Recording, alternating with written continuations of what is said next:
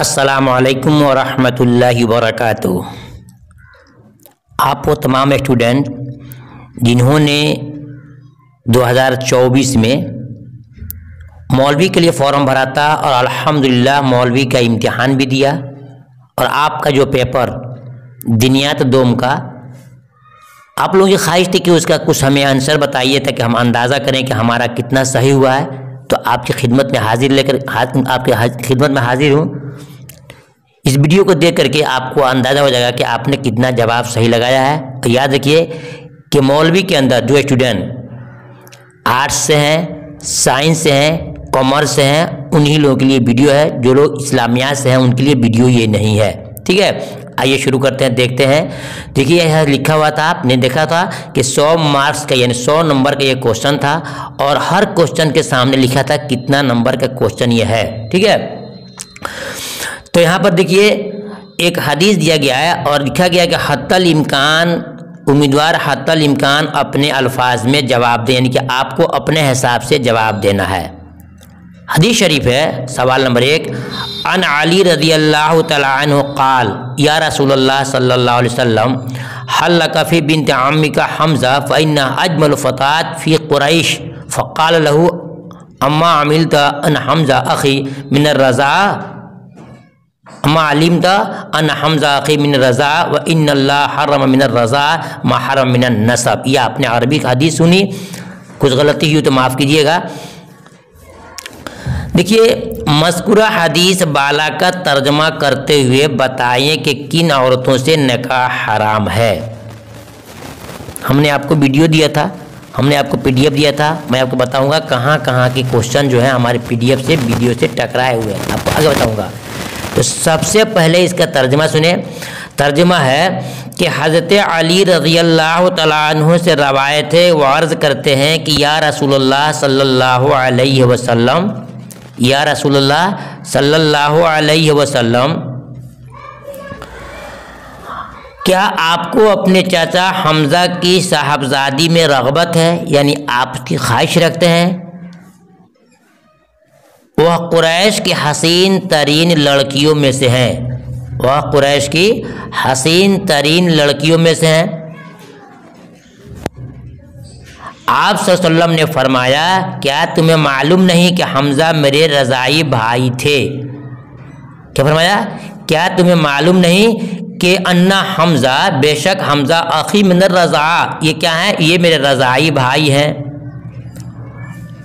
आगे फरमाया कि हर रमा इन हर रमा मिनर रज़ा, कि अल्लाह ताला ने हराम किया है रज़ात से रिश्ते को और हराम, जो हराम किया है नसब से। यानी कि जिस तरह अपनी ख़ास बहन से शादी जायज़ नहीं है, ऐसे ही जो रज़ात से बहन साबित होती है, उससे भी नकाह जायज़ नहीं है। तो रसूल पाक सल्लम उनको समझा रहे हैं कि क्या तुम्हें मालूम नहीं? कि हमज़ा मेरे रज़ाई भाई थे, अल्लाह ताला ने रज़ात से भी वो रिश्ते हराम कर दिए हैं, जो नसब से हराम फरमाए हैं। इस हदीस को मुस्लिम शरीफ ने ज़िक्र किया है। रवाहुल मुस्लिम मुस्लिम शरीफ ने इसको ज़िक्र किया है। यानी कि मुस्लिम शरीफ में ये हदीस है। और आगे पूछ रहा है कि किन औरतों से नकाह हराम है? किन औरतों से नकाह? हराम है तो उसको भी समाप्त कीजिए, जो कि जुड़ना ज़रूरी है। इंशाल्लाह इसके बाद जो ऑब्जेक्टिव क्वेश्चन है, वो भी मैं आपको दिखाऊँगा, जो कि बहुत इंपॉर्टेंट है। जवाब लिखेगा कि हुरमत जो है, कुछ औरतों से हरमत नसबी की वजह से नका हराम है। हरमत नसबी इनके सात औरतें हैं, ये आपके ऑब्जेक्टिव क्वेश्चन में भी आता है। नका हराम है, नंबर एक, माँ, बेटी, बहन, तीन हो गया, फूफू, चार, खाला, पाँच, भांजी छः भतीजी सात। ये सात किस्म की औरतें हैं जो नसब के अतबार से क्या है? हराम है और इन औरतों से हर हाल में निकाह करना एक मुसलमान को के लिए हराम है। ठीक है?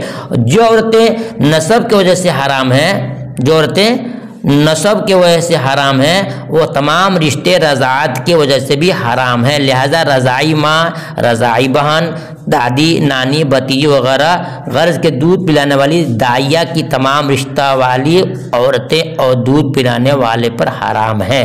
मालूम हो गया कि इस हदीस के अंदर बताया गया कि जिस तरह हसब, नसब और खून की वजह से, रिश्ते की वजह से नका हराम है, वैसे ही जिसने किसी ने अगर किसी औरत का दूध पी लिया, बच्चे ने किसी औरत का दूध पी लिया तो जिस बच्चे ने दूध पिया वो और उस औरत के जिसने दूध पिलाया, जितने बच्चे उसके घर में होंगे, वो तमाम के तमाम रजाई बन होंगे रजाई भाई बहन बोलते हैं कि एक बच्चे ने किसी औरत का दूध पी लिया तो उसका बच्चा और ये पीने वाला बच्चा क्या होगा? रजाई भाई बहन हो जाते हैं। ये स्टूडेंट ये हो गया सवाल नंबर एक का।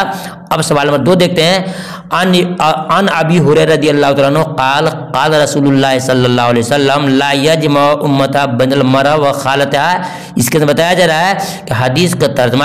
करना है कि अल्लाह के हज़रत अबू हुरैरा से रवायत है कि अल्लाह के रसूल सल्लल्लाहु अलैहि वसल्लम ने फरमाया कि दो को इकट्ठा एक जगह नहीं कर सकते हैं। और ये पूछा गया है, यहाँ पर फूफी और खाला मुहरमात अबदियाँ हैं। जी हाँ फूफू और खाला हमेशा के लिए हराम है। किसी सूरत में निकाह जायज़ उनसे नहीं होगा।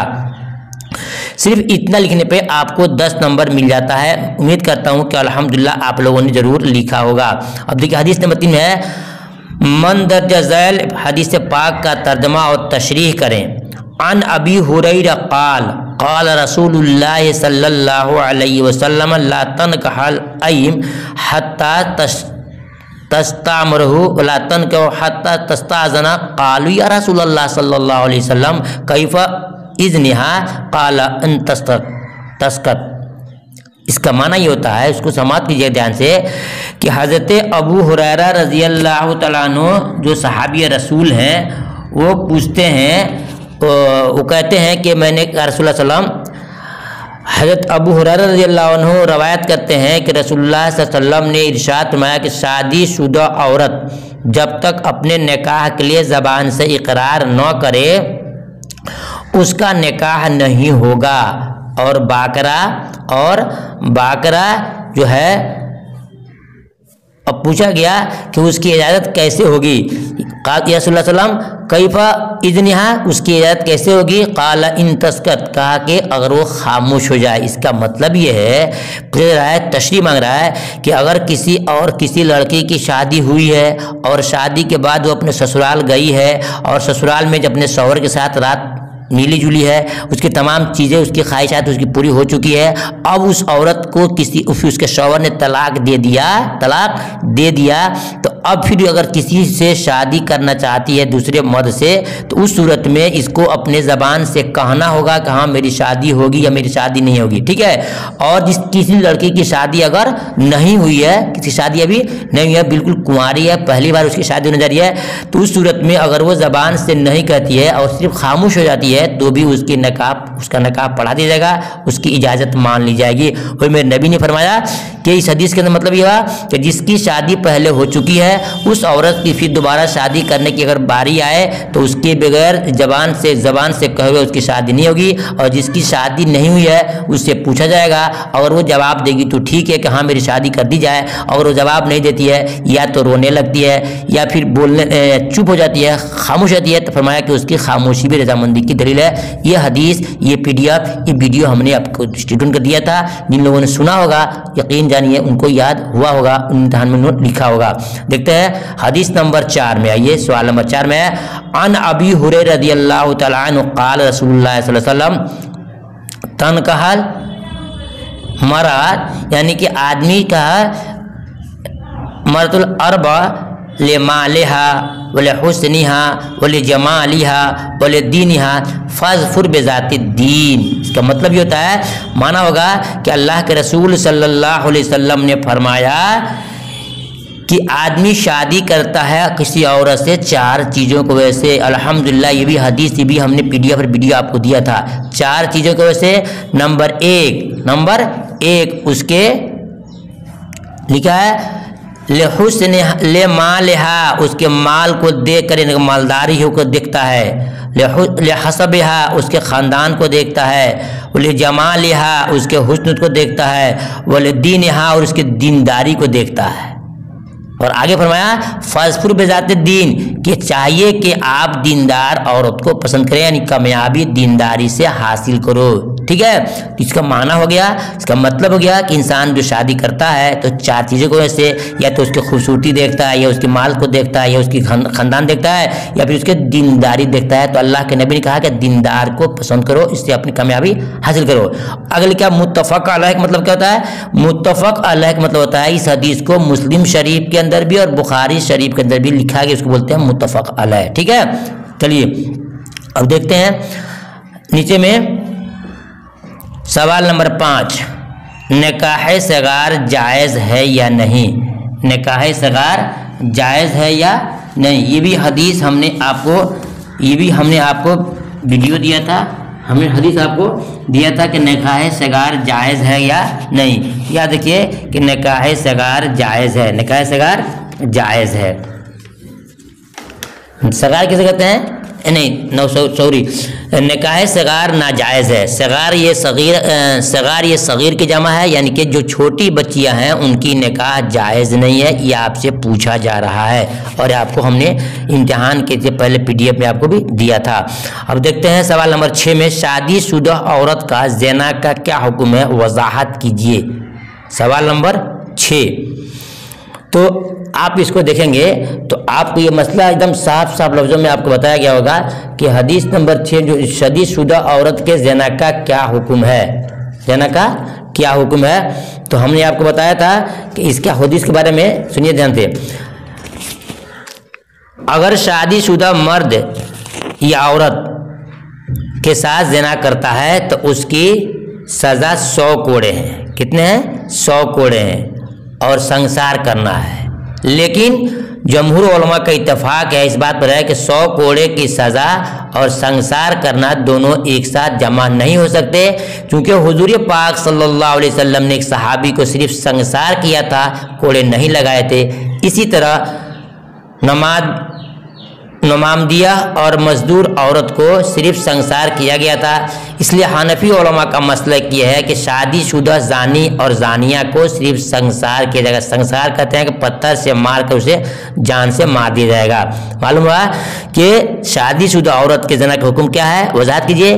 तो शादीशुदा औरत का या मर्द का जना का अति सज़ा यह है कि उसको संसार किया जाएगा नहीं उसको पत्थर से मार मार कर उसकी जान ले ली जाएगी। यह आपके हदीस नंबर छः हो गई।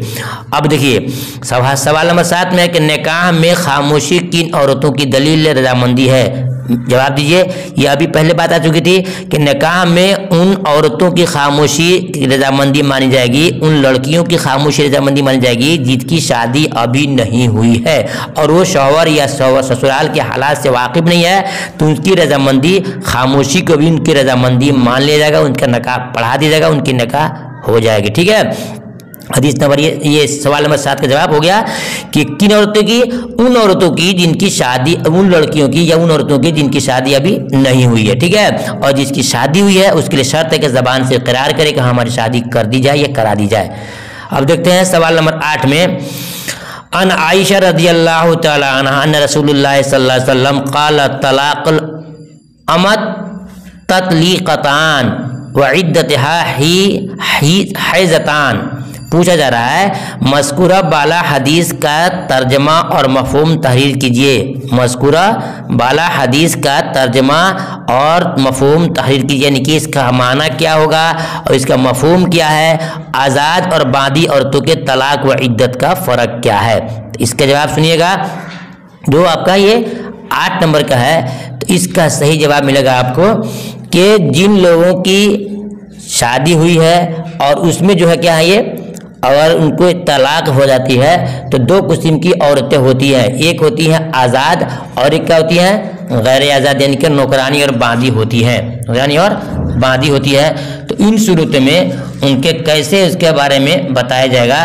तो बताया गया है, इसका तशरी होगा कि आज़ाद जो है, यानी जिस जो औरत है, आज़ाद है, उसको अगर तलाक हो जाए तो तलाक में उसको तीन हैज़ उसे इद्दत में रहना है। कितने हैज़?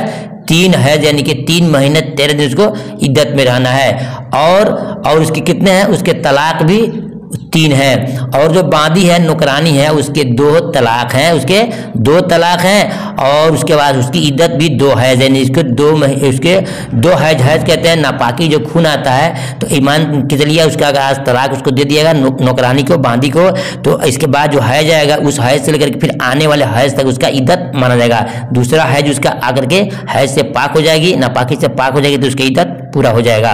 तो मालूम हुआ कि आज़ाद के लिए तीन तलाक भी है तो औरत के लिए और तीन उसकी इद्दत की हैज़ भी है और नौकरानी यानी बांदी के लिए दो तलाक भी है और उसकी दो इद्दत भी है। फिर माना सुनिए कि आयशा रदी अल्लाह से रवायत है, बेशक रसोल्ला फरमाया कि तलाकुल अम्मा बांदी की तलाक दो है और उसकी इद्दत भी दो हैज़ है। ठीक है? चलिए नेक्स्ट देखते हैं आप। यह आपका हदीस नंबर आठ सवाल नंबर आठ हो गया। जवाब नंबर सवाल नंबर देखते हैं नौ में। किन औरतों से निकाह हराम है?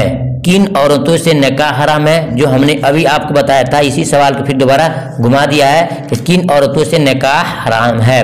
तो इसके बारे में बताया गया था कि निस्बत नसब के अतबार से सात किस्म की औरतें हैं जिससे निकाह करना हराम है। फिर सुनिए जवाब लिखेंगे कि हरमत नसबी में सात औरतें हैं जिनसे निकाह हराम है, माँ बेटी, बहन तीन हो गया, फूफू चार और खाला पाँच, भांजी छः और भतीजी सात। ये सात किस्म की अर्थों से निकाह हराम है। ठीक है? अब आइए चलते हैं। सवाल नंबर नौ के बाद अब आते हैं। मारूजी सवालात की तरफ़। जिनमें चार सवाल दिए गए हैं, उस जवाब दिए गए हैं, उसमें से एक को आपको चुनना है, जो कि बहुत इंपॉर्टेंट है। अगर आपने इसका जवाब दिया है तो देखिए कितना आपने जवाब से दिया है। और ये भी देखिए, खुशी खुशी की बात है कि बिहार बोर्ड में, मदरसा बोर्ड बिहार बोर्ड में जो आता है ऑब्जेक्टिव तो एक नंबर का आता है, लेकिन मदरसा बोर्ड ने आपको एक क्वेश्चन को दो नंबर दिया है। सवाल है, रजात का रिश्ता जो निकाह को हराम करता है, उसकी मुद्दत क्या है? छः माह, एक साल दो साल कोई नहीं। याद रखिए कि मुद्दत रजात, यानी कि दूध पिलाने की जो मुद्दत है, इसमें कराम का अख्तलाफ है। इमाम अबू हनीफा रहमत कहना है कि ढाई साल तक हरमत की रजात की दूध दूध पिलाना है। और उसके अंदर में कोई बच्चा अगर दूध पी लेता है किसी औरत का तो उसका रजाई बेटा हो जाएगा रजाई माँ हो जाएगी। लेकिन इमाम शाफी रहमत के अलावा इमाम इमाम शाफी रहमत और साहबैन, यानी बहुत सारी और भी इमाम है। उनका कहना है कि मुद्दत रजात दो साल है। लिहाजा उनके और इसी पर फतवा भी है। मालूम हुआ कि मुद्दत रजात जो है, ये आपको दो साल माना जाएगा। इनका ऑप्शन जी का बिल्कुल परफेक्ट सही है। दो साल, है ना? एक साल गलत है छः माह गलत है, ठीक है? अब देखते हैं सवाल नंबर ग्यारह में कि नबी पाक सल्लल्लाहु अलैहि वसल्लम के निकाह में बैक वक्त में कितनी बीवियाँ थीं? बिल्कुल सही जगह होगा। ऑप्शन इसका जीम होगा कि ग्यारह बीवियाँ नबी पाक वसल्लम के निकाह में थी। देखते हैं सवाल नंबर बारह के बाद तेरह में। सवाल नंबर तेरह में कि रसूल सवाल नंबर बारह में कि रसूलुल्लाह सल्लल्लाहु अलैहि वसल्लम के निकाह के वक्त आयशा की उम्र कितनी थी? आयशा की उम्र कितनी थी? तो इसका सही जवाब होगा कि आयशा रज़ी अल्लाह की उम्र उस वक्त नौ साल की थी, यानी कि बे ऑप्शन सही है। अब देखते हैं सवाल नंबर तेरह में कि फातिमा रज़ी अल्लाह का मार कितना था? दस अवकिया बारह अवकिया पंद्रह अवकिया बीस अवकिया तो इसमें मुझे सही सर्टिफाइव नहीं हुआ है, क्योंकि किताब में मैंने देखा था, लिखा था उसमें कि चार सौ दिनार था, कहीं मिसकाल लिखा है अवकिया के बारे में हमको जानकारी नहीं है, इसलिए अगर आपको जानकारी मिल जाए तो मेरे कमेंट कर दीजिएगा, हम इंशाल्लाह उसमें दुरुस्त कर लूँगा। अब यहाँ देखिए, सवाल नंबर चौदह में महर मुतलक किसे कहते हैं? महर मुतलक किसे कहते हैं? तो महर मुतलक, ये लफ्ज़ मेरे समझ से सवाल ही गलत है लफ्ज़ की महर की दो किस्में हैं। महर मुआजल होता है, एक महर मुआजल होता है। मैं आपको दिखा दे रहा हूँ लिख करके कि किताब में लिखा है कि महर की दो किस्में हैं। एक होता है महर मुआजल महर मुआजल एक होता है महर मुवज्जल। जीम से होता है, वाब से होता है। तो महर मुआजल कहते हैं कि जो जल्दीबाजी, जैसे कि निकाह हो, महफिल में दे दीजिए या औरत के पास जा रहे हैं, बीवी के पास जा रहे हैं तो जाते के साथ उसको, यानी कि उससे बातचीत, मुलाकात होती है तो उसके साथ उस रहने से पहले उसको दे देते हैं, उसको बोलते हैं महजे मुआज्जल महरे मुआज्जल, ठीक है? और मुआजल कहते हैं, जो ताखिर से दिया जाए, जब आपका वक्त हो जाए, जब आपके पास पैसे हो जाए तो उसको दिया जाए तो यहाँ पर महर की दो किस्में हैं? कि महर मुतलक हमने किस्में कहीं नहीं देखा है। यहाँ पर लोगों ने बताया कि यहाँ पर असल में है महरे मुआजल अगर महरे मुआज्जल मानते हैं तो फ़ौरन पर टिक लगाया जाएगा। और मरने के वक्त अदा करने वाले मोहर कहते हैं, ये भी गलत है। या वक्त मुकर्र पर देने वाले मोहर कहते हैं, ये भी गलत है। या दोनों में से कोई नहीं है। मेरे समझ से इसको जो लफ्ज़ के अतबार से दिया है, इसको जवाब हम मानेंगे गलत, यही मानेंगे कि इनमें से कोई नहीं है, इनमें से कोई नहीं है। ठीक है? अब देखते हैं सवाल नंबर पंद्रह में, निकाह करना किस पर वाजिब है? निकाह करना किस पर वाजिब है? देखिएगा। निकाह करना किस पर वाजिब है? अलिफ मालदार पर बे फ़कीर पर जी मिस्किन पर अदाल, जिसे बगैर निकाह किए गुनाह के मुतकब होने का जन गालिब हो तो बिल्कुल सटीक और सही जवाब है कि जिन लोगों को ये अगर यकीन है कि मैं अगर निकाह और शादी नहीं करूँगा तो क्या हो जाए मैं गलतकारी करूँगा, दूसरी जगह मुँह को काला करूँगा तो उन लोगों के लिए निकाह करना वाजिब है। ठीक है? अब देखते हैं सवाल नंबर सोलह में, निकाह के लिए औरतों के हुस्न इंतखाब का मैार क्या है? हदीस की रोशनी में बयान कीजिए। देखिए, ये सवाल आपको हदीस में भी आ चुकी थी पीछे सवाल में सब्जेक्ट में, कि निकाह के लिए औरतों के इंतखाब का मैार क्या है? इंतखाब कहते हैं चुनने का। हदीस की रोशनी में बताएँगे कि हुसन, मालदारी नसब ये सब के सब सही है, है लेकिन आदमी शादी से करता है लेकिन असल है अल्लाह के नबी ने कहा कि दीनदारी को तरजीह दो दीनदारी को तरजीह दिया जाएगा। ये ऑप्शन दाल आपका सही है ठीक है? अब देखते हैं सवाल नंबर सत्रह में कि रसूलुल्लाह सल्लल्लाहु अलैहि वसल्लम की पहली शादी किस उम्र में हुई? इसका सही जवाब आपको होगा ऑप्शन बे 25 साल की उम्र थी आपकी शादी है खदीजा से हुई। देखते हैं सवाल नंबर अट्ठारह में हैद खदीजा रजील्ला की उम्र रसूलुल्लाह वसल्लम से निकाह के वक्त कितनी थी? याद रखिएगा, मेरे नबी की उम्र 25 साल थी और हद खदीजा की उम्र 40 साल थी। ऑप्शन जी इसका परफेक्ट और सही है। देखते हैं सवाल नंबर 19 में कि रसूलुल्लाह वसल्लम का निकाह है खदीजा खजतुल कुबरा से किसने पढ़ाया था? चार विकल्प दिया है। रसूलुल्लाह के चचा तालिब ने खजतुल कुबरा के चचा ने हैत अब्बास ने, अमीर हमजा ने तो सही जवाब जिस बच्चे ने लगाया है, बिल्कुल सही है जवाब इसका होगा रसुल्ला के चचा अबू तालिब ने। देखते हैं सवाल नंबर बीस में, अगर दो बहनों से शादी करने करे तो शरीयत का क्या हुक्म है? इसका सही ऑप्शन होगा कि हदीस की रोशनी में कि ऑप्शन दाल इसका बिल्कुल परफेक्ट सही है कि जिसको चाहे छोड़, यानी कि दो औरतें अपने निकाह में हो जाएँ तो दोनों को छोड़ना नहीं है। पहली के छोड़ दी जाए, दूसरी छोड़ दी जाए। इसके बारे में मैंने एक किताब में ढूंढा था तो हमको मिला था कि इसके बारे में सवाल यह है कि इंसान को शादी होती है, दोनों को कैसे किया जाए? तो हदीस नम हमने खोजा था तो आपको मिला था कि इसके बारे में सवाल ये था कि दो शादी हो जाए दोनों शादी में से किसको किए दो बीवी है किसको रखा जाए किसको छोड़ा जाए तो, तो हमने तफ्तीश किया किताबों को ढूंढा तो मालूम हुआ इसमें लिखा है कि दो में से एक को ही आपको छोड़ना है और उस जिसको जिसका है उसको छोड़िए। लिखा है कि अपने वालिद से रवायत करते हैं कि उन्होंने कहा कि अल्लाह रसूल सल्लम मैं मुसलमान हो गया हूँ और मेरी जौजियत में दो बहनें हैं। जौजियत में दो बहनें हैं। फरमाया, उनमें में से जिसे चाहो अख्तियार कर लो और दूसरी को छोड़ दो। यानी कि जिसको चाहो रखो, जिसको चाहो छोड़ दो। इस सदी से मालूम हुआ, इमाम शाफी की दलील है कि जब कोई मुसलमान हो, उसके निकाह में दो सगी बहनें हो तो उसे अख्तियार है कि चाहे जिससे रखे, चाहे जिससे छोड़े। इमाम हनीफा के नज़दीक दोनों बहनों में से बैक वक्त निकाह किया है तो दोनों को अलग है, करना होगा। और आगे पीछे निकाह किया है तो पहली को रखे दूसरी को छोड़े अहले सुन्नत व जमात का मसलक है कि औरतें तीन मतलब क्या है कि उसको जिसको चाहे छोड़े जिसको चाहे रखे। यानी कि ये ऑप्शन दाल बिल्कुल सही है। अब देखते हैं सवाल नंबर 21 में, निकाह फजूली किसे कहते हैं? आपका टाइम ज़्यादा हो रहा है। निकाह फजूली किसे कहते हैं? निकाह फजूली कहते हैं वली के बगैर जो निकाह किया जाए, वो निकाह है फजूली, यानी कि बकवास है, उसका निकाह जायज़ नहीं होता है।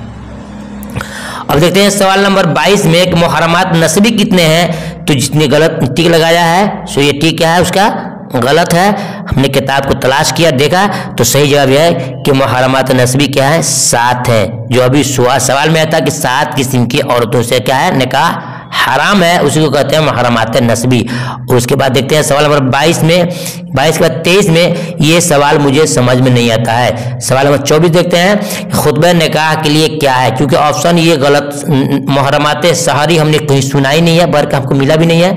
अगर आप जानते होंगे तो जवाब दे सकते हैं, उसको मैं इकरार कर, उसको मैं स्वीकार करूँगा।